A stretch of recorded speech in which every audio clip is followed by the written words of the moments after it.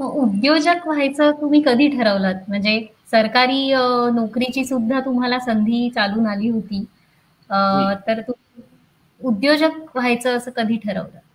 की आपण उद्योजकच व्हायचं?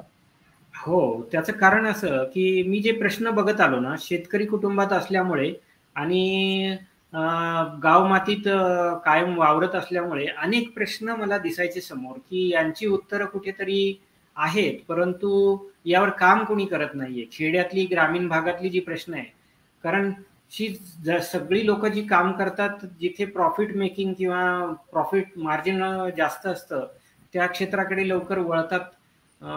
असं एक त्या काळात सुद्धा जाणवत होतं.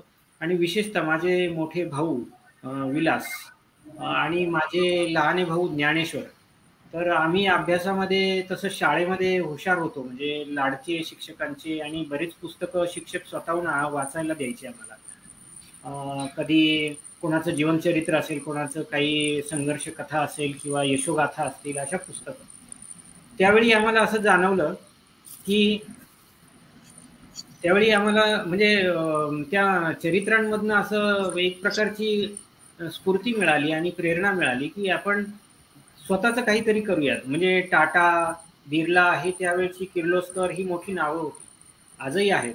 आणि त्यांनी कसं शून्यातून विश्व निर्माण केलं त्यांनी कशी परिस्थिती स्वतःची ते बदलवली समाजाची बदलवली अनेक लोकांना रोजगार दिला तर आम्ही भावंड असे बसून विचार करायचो की आपल्याला असं करता येईल का? आपण काहीतरी करायचं तर स्वतःचं करायचं. दुसऱ्याची नोकरी किंवा करण्यापेक्षा आणि कसं असतं शेतकरी जो असतो ना हा मुळातच व्यावसायिक असतो. हो. शेती हो कारण एक पीक गेलं तर दुसरं करतो दुसरं केलं तर तिसरं करतो त्याचं सतत चालू असतं. आणि कुठल्या ना कुठल्या प्रकारे त्याच्यात यशस्वी वाट आनंदी जीवन शोधत असतो. तर आम्ही अशी व्यावसायिकाचीच मुलं असल्यामुळे म्हणा उद्योजकता ही रक्तातच होती. आणि त्याच्यावर विचारही खूप झाला. या पुस्तकांचा आमच्यावर खूप प्रभाव झाला पडला चर्चा करायचो. त्यामुळे लहानपणापासून वाटत होतं की आपण जे काही करायचं ते स्वतःच काहीतरी करायचं. जेणेकरून आपल्याला दुसऱ्याला रोजगार देता येईल दुसऱ्याचं कुटुंब चालेल अशा पद्धतीने.